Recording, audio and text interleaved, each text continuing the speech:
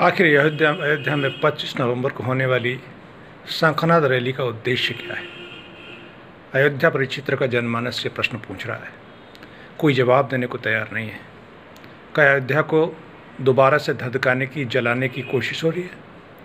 या केवल ये चुनावी स्टंट है? क्योंकि चुनाव पास है, इसलिए लोगों को जोड़ना है, ध्रुवीकरण करना है। ये छलावा है।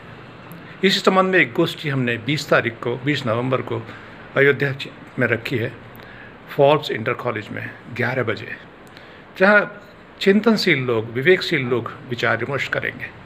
और विचार विमर्श करेंगे और कहें, और पूछेंगे सवाल सत्ताधीशों से कि रोज़गार का क्या हुआ, जिसके वादे किए गए थे। उन योजनाओं का क्या हुआ, जिनके बार बार वादे किए गए थे किसानों के लिए, मजदूरों के लिए? ये सवाल पूछे जाएँगे। क्या वो सब गौण हो गए विकास के मुद्दे?